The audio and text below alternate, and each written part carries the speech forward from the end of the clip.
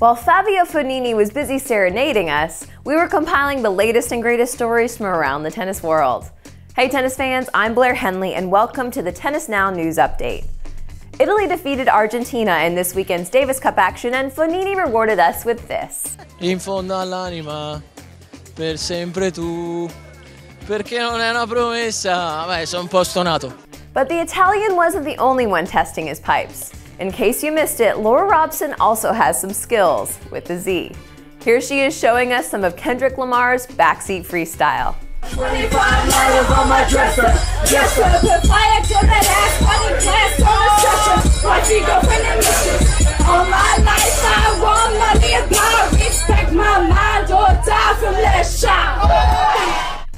Post-retirement, Marion Bartoli has held true to her promise of staying involved in sport this time launching exclusive shoe accessories for the Philadelphia 76ers. Shaped like wings, they attach to shoelaces for a little added flair. Bartoli wore them this weekend as she accepted a memorial photo collage from WTA CEO Stacey Allaster in Paris.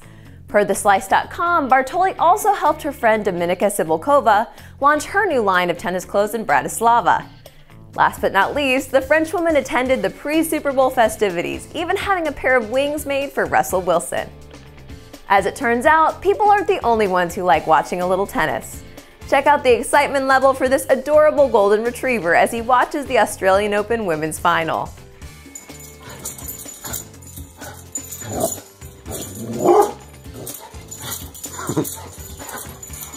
like tennis, George?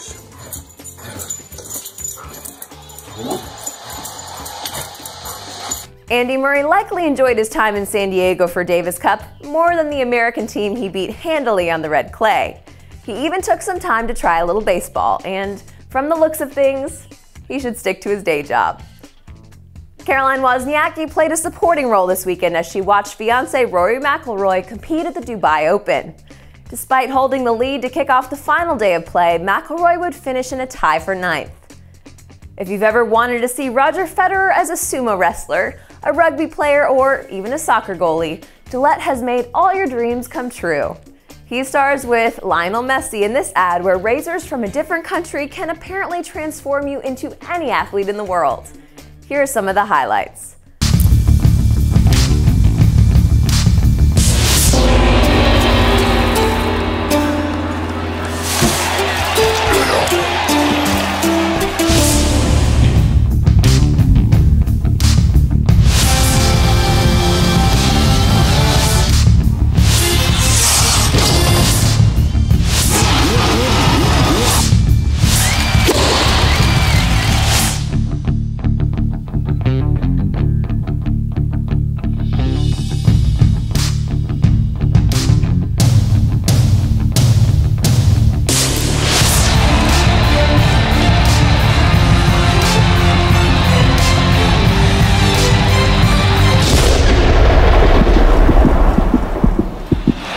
Just for fun, we'll leave you with Carlos Berlocq's Davis Cup Hot Shot.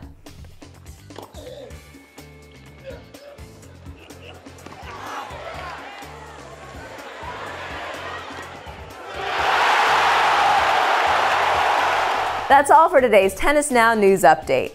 Let us know your weekend tennis highlights in the comment section below or on Facebook and Twitter. We'll see you next time here on Tennis Now.